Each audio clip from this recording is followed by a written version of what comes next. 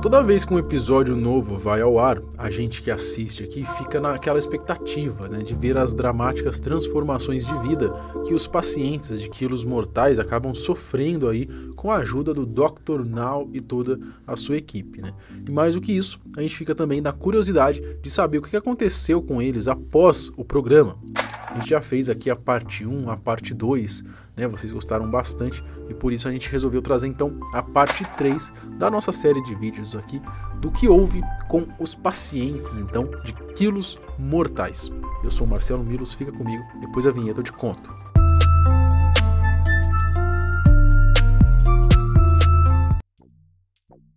Quando assistimos aos pacientes de quilos mortais, conseguimos ver tanto histórias que parecem contos de fada, como algumas histórias que parecem mais filmes de terror, não é?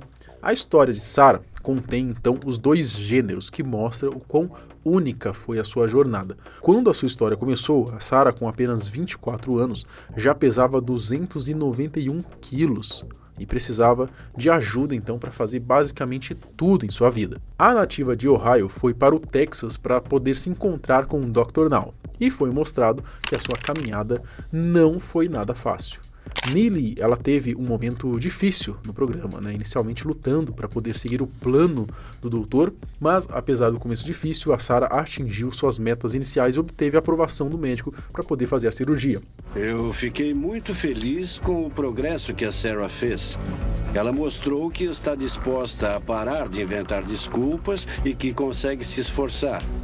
Mas ainda temos um longo caminho a percorrer. Durante um período de dois anos, a jovem conseguiu perder mais de 135 quilos, como foi mostrado em seu episódio de acompanhamento. Eu já tô magro bastante para me pesar em balanças comuns. Por isso sabia que estava perto dos 90 quilos e fico feliz com o resultado. A sensação é muito boa. E eu nem consigo lembrar da última vez que estive tão magra. Ela até que começou a se sentir mais confiante sobre si mesma e estava até em um relacionamento bastante sério, cuja a consequência foi a sua primeira gravidez. Mas aí veio o baque mais forte de sua vida. A Sarah acabou sofrendo um aborto espontâneo e todas as suas esperanças desmoronaram. O aborto aconteceu quando Sarah estava um pouco mais ali de quatro meses de gravidez. Na época, ela também estava passando por um período de reabilitação devido ao vício em substâncias ilegais. Então veio tudo de uma só vez. Né? A moça foi é, guerreira e depois de um período muito tumultuado, a Sarah atualmente parece estar prosperando em sua vida. Ela ainda não terminou sua jornada de perda de peso e continua ali no seu progresso. Né? A batalha de Sarah contra o vício em comida e o abuso de substâncias permitiu que ela ficasse mais forte. Em novembro de 2020, por meio de uma postagem no Instagram, a Sarah anunciou que estava sóbria há mais de 12 meses, acrescentando mais um feito ali na sua lista de conquistas. No final do mesmo ano, ela teve então o seu segundo filho, para sua felicidade e a do seu marido. Né? A Nili ela é bastante ativa em seu Instagram, postando fotos de sua família, além de um grande número de postagens com citações motivacionais, abordando principalmente quem, como ela, luta contra qualquer abuso ou vício. Esperamos que a Sara possa continuar com a sua jornada de sucesso né, e levar essa vida saudável e, motivação para seus seguidores. Quando vimos a história de Maxwin pela última vez, ele estava a caminho de se tornar um dos participantes mais memoráveis de todo o programa. Seu episódio mostrou um então jovem aí de 27 anos com 311 quilos e lutando fortemente contra a ansiedade e o agorafobia, que é quando a pessoa tem sintomas é, como medo e ansiedade em níveis extremamente elevados. Então eu como porque a comida sempre me faz feliz. Ela me ajuda a esquecer toda a revolta, o medo e a dor da minha vida. É como se ela me levasse para um lugar melhor por pouco tempo e onde tudo está bem. Tudo isso veio de sua infância complicada. O Justin tinha problemas com a sua mãe devido a ela ser instável e acabou usando a comida para poder lidar com essa situação. O problema foi que, como na maioria dos casos, a dependência se transformou em um vício à medida que envelhecia. Quando Justin tomou a iniciativa e se encontrou com o Dr. Now, ele rapidamente começou a mudar o seu estilo de vida. Um ano depois que ele ajustou a sua dieta e passou por uma cirurgia de redução de estômago, o Justin já havia perdido 151 quilos. Depois do sucesso do programa, ele não parou por aí. Em 2019, ele começou a fazer aulas de voo para obter sua licença de piloto, acreditando que o céu era o limite. Justin deu passos ainda maiores desde então. Né? Max Swain apareceu em Onde Eles Estão Agora, que é o spin-off do programa, e foi mostrado que ele não só perdeu mais de 200 quilos, mas também se juntou ao colega e paciente Christine Phillips para poder falar publicamente sobre a sua incrível jornada de perda de peso. Faz dois meses que fiz a cirurgia de remoção de pele e eu tô me sentindo bem. Foi uma cirurgia com uma recuperação difícil e eu ainda tô um pouco dolorido, mas as suturas estão cicatrizando bem. É incrível não ter mais toda aquela sobra de pele e ter um corpo pequenininho agora. Durante seu discurso, ele creditou a terapia por ajudá-lo a perceber que era alguém que merecia uma chance na vida. E ele vem aproveitando cada momento de sua nova vida. Né? O Justin ele é bem ativo no Instagram, é, que contém ali mais de 35 mil seguidores e mostra uma evolução chocante. Hoje ele faz caminhadas de mais de 5 quilômetros, tem um amor gigantesco pelo seu cachorro e está feliz da vida, inspirando muitas pessoas. Tô fazendo aulas e chegando mais perto de me tornar um piloto. Eu tô ansioso por isso, porque quando acontecer não vai ter nenhum lugar para onde eu não possa ir.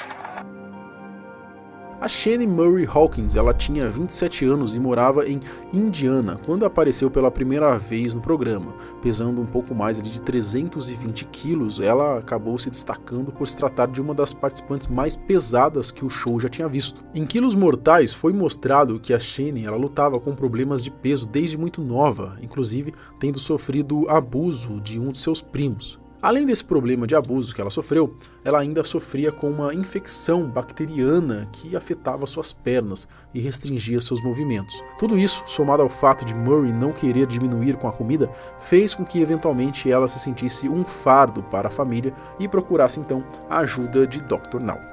Então vamos dar uma olhada na sua situação. Você tem 28 anos. Isso. E pesa agora 302 quilos. Uhum. E tem apenas 1,55m, ou seja, o seu IMC é de 123. Durante o programa, seu relacionamento com o doutor não foi nada fácil. Você deveria ter perdido 14 quilos em um mês. E em vez disso, agora está pesando 315, ou seja, engordou 13 quilos. Com todos os problemas de saúde que você tem, é possível que você não chegue aos 30 anos. Enquanto ele tentava ajudá-la a perder peso, ela, na verdade, ganhava mais. Não gostava de ouvir os seus conselhos. Por que procurou o programa então, na verdade? No final das contas, entre os ganhos e perdas depois de um conturbado relacionamento, a Shane acabou rompendo os laços com o Dr. Now, bloqueando suas ligações e terminando assim a sua participação na atração. A perdeu novamente a consulta, mas desta vez ela não está sequer atendendo o telefone nem respondendo às mensagens. É um resultado triste e decepcionante. Depois da sua participação no programa em 2018, a Murray iniciou uma página no GoFundMe para poder obter uma ajuda financeira, né? Uma página tipo apoia-se, né? Uma, pelo que eu entendi, mais ou menos isso aí, né? A galera ajuda ali com dinheiro ali para alguma meta. Então ela usou isso para poder é, obter uma ajuda financeira, para poder perder peso, controlar seus outros problemas de saúde. Ela postou uma foto na sua página em dezembro de 2018, mostrando uma suposta perda de peso de 117 quilos, e também compartilhou que havia ido ao médico devido a um potencial coágulo no sangue, de sangue ali na sua perna. Felizmente, acabou por ser é, apenas uma deficiência de potássio. Até em 2020, ela estava ativa em suas contas pessoais no Instagram, no Facebook, tudo documentando ali a sua suposta perda de peso, né, enquanto ela postava outras fotos e vídeos. Desde então, ela acabou sumindo. Né, de acordo com um tópico que existe lá no Reddit, há especulações de que a Shane ela estava grávida em 2020, mas é, não teve nada que confirmasse então essa informação. No geral, parece que ela está bem, está controlando seu peso sozinha, mas a gente não pode dizer isso com certeza. Enfim, né, esperamos que a moça tenha tomado jeito.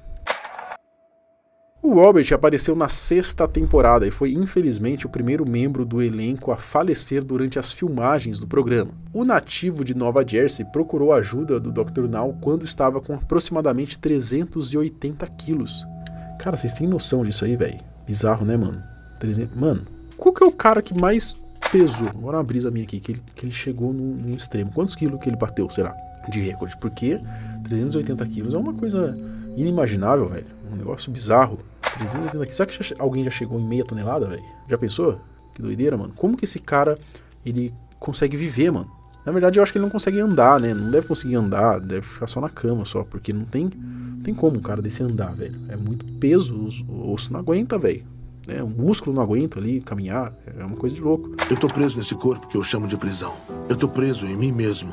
E as coisas que a Catherine tem que suportar todos os dias, tudo para cuidar de mim, eu vejo que ela tá ficando cansada. Bom, ele então, né, muito pesado também, 380 quilos, ele conseguiu perder incríveis 155 quilos, né, com a ajuda do famoso cirurgião bariátrico. Só que nesse processo todo, ele acabou desenvolvendo um vício em analgésicos. E quais remédios está tomando?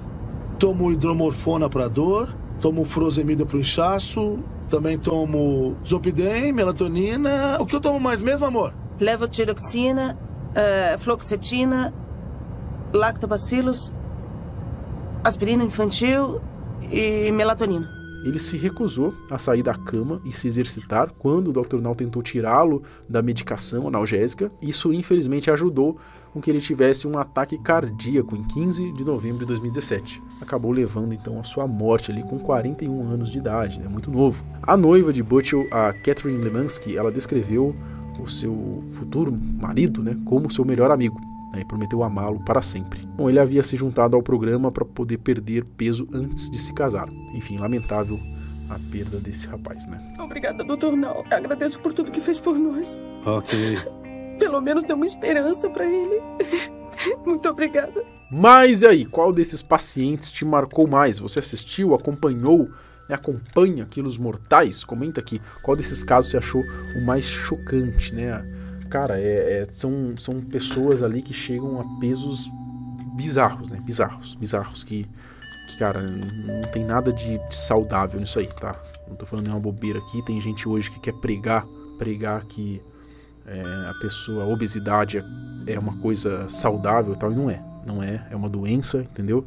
Inclusive é classificado como doença, então não cai nessa aí não. É, a gente tem que gostar da gente como a gente é. Isso daí, eu, isso daí eu concordo, tá? A gente tem que se aceitar, mas a gente não tem que achar é, que, é, que é saudável não e a gente tem que procurar sempre melhorar aí a nossa nossa condição física, né? E, enfim, saúde, saúde é o que importa, né, galera? Então é isso aí. Bom, espero que vocês tenham gostado desse vídeo.